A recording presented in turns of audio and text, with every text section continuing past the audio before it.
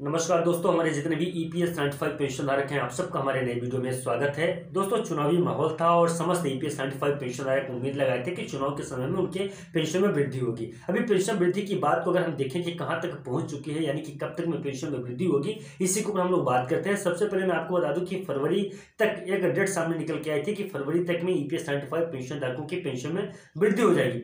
अनुमान भी सही था और जो अपडेट निकल के सामने आई थी कि फरवरी तक ईपीएस नाइन्टी पेंशन धारकों को पेंशन की राशि दी जाएगी और साथ ही साथ में चिकित्सा की मुख्य धारा में जोड़ा जाएगा ईपीएस नाइन्टी फाइव पेंशन धारकों को। ऐसे वो पेंशन धारक जो पेंशन, जिनको नहीं मिल पा रही है, उनको जो तो चिकित्सा या जो उनका स्वास्थ्य है तो उनको जो तो आयुष्मान भारत योजना के तहत उनको जोड़ा जाएगा ताकि नाइन्टी फाइव पेंशन धारक जो हैं, वो जो तो उसका डायरेक्टली फ़ायदा ले सके। तो ये कुल मिला के उम्मीद अभी हम आपको बताने वाले हैं कि ये कुल मिला के जो इनका उम्मीद है, जो एक नाइन्टी फाइव पेंशन धारकों की पेंशन वृद्धि को लेकर जो तो एक अपडेट सामने निकल के आ रही है तो अपडेट यही है कि फरवरी तक नाइन्टी फाइव पेंशन धारकों को जो तो मेडिकल सुविधा भी मिलेगी और साथ ही साथ में उनको पेंशन की राशि भी मिलेगी।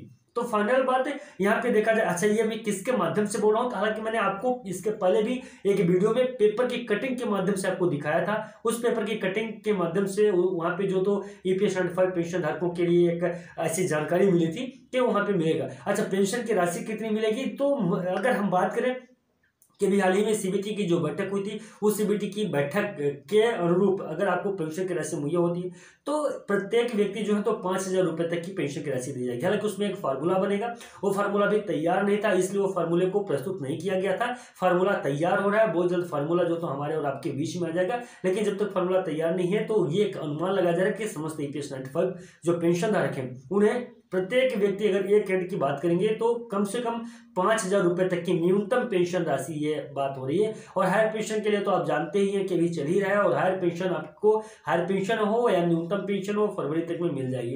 अब मामला यहाँ पे आता है कि बहुत सारे मामले जो तो सुप्रीम कोर्ट में भी फंसे हुए हैं। सुप्रीम कोर्ट के और पिछला मामला भी था और जो तो यहाँ पे जो विकल्प फॉर्म था सबमिट करने का, वो सब चीज़ें जो तो चल रही हैं डेटें बढ़ रही हैं, आगे पीछे हो रही है फॉर्म जो तो सबमिट हो रहे हैं, तकरीबन साढ़े सत्रह लाख के आसपास जो फॉर्म है, उन फॉर्म को जो तो स्टडी किया जा रहा है, जिसका क्या, किसका क्या छूट गया है, वो सब चीज़ों को सबमिट किया जा रहा है, रखा जा रहा है। इसके बाद जो तो उस पर आगे काम किया जाएगा और किस प्रकार से उनको पेंशन की राशि दी जाएगी, उसके लिए फार्मूला तैयार किया जाएगा और फार्मूला भी मिल नहीं पाया है। इस वजह से थोड़ा सा बात क्लियर नहीं हो पा रही कि किसको कितनी पेंशन की राशि मुहैया हो जाएगी और बहुत जल्द जो तो पेंशन की राशि मुहैया होगी तो उम्मीद करता हूँ दोस्तों कि आपके मन के अंदर में जो प्रश्न उठ रहे थे यानी कि कुल मिला के जो जिन चीज़ों को आप जानना चाहते थे, वो सारी चीज़ें आप तक पहुँच गई हैं हमारी वीडियो के माध्यम से।